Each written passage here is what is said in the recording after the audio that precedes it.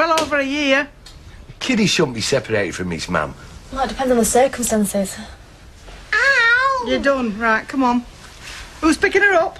Uh, I'm getting Sam and Alice. I'm working. Oh, Aaron will want to see his granddad. Someone's got to get me. Debbie? Oh, I've got a choice. No, you haven't. Right, come on, Belle. We'll be late. See you later, Petal. Hello.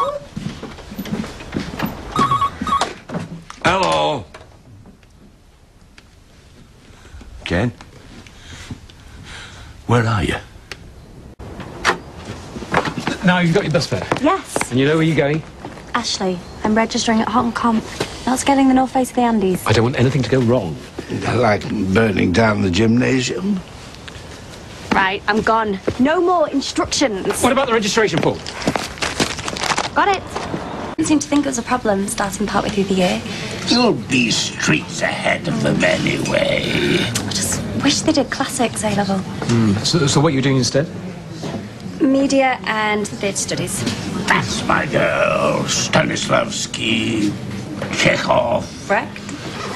You're sure you're not going for the easy option? Not at all. She couldn't go wrong treading the boards. Grandpa reckons it's in my blood. Yes. Grandpa should keep his nose out of matters that don't concern him. So, what did you think? It's okay. You can say. Okay. Loved it. The chill out area is fab. There's a cinema club, gym. So much better than the last school. Got it all boxed off, haven't you? New school, new mates. No doubt you'll end up with three million A levels and some top job in Leeds. It's not the be all and end all. Hey, don't worry about me. I don't want to go back there. Well, them divs looking down the noses at me. So what are you going to do? I don't know. I haven't made my mind up yet. Listen. You've got no ties, have you? Now Sarah's gone. Debbie, you can do anything you want. The world's your oyster. Yeah. Yeah, I suppose it is. You see, you've got the one thing that I'll never have. Freedom. If I was you, I'd make the most of it. Hiya. Hi, love. Where have you been till now? Out. There's no tea. Your granddad's at it. I've been with Jasmine, talking about our futures. Hmm. I need to talk to you about that. I've made a decision. I need a job.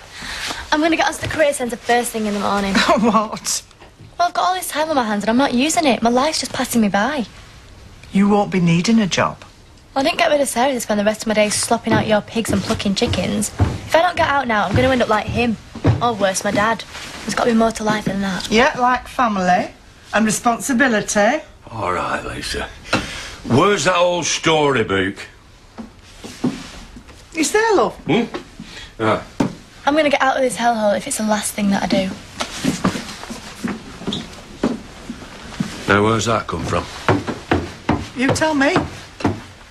Do you still think she's going to welcome her baby back with open arms? Huh? Well, she's going to have to, whether she likes it or not. Are.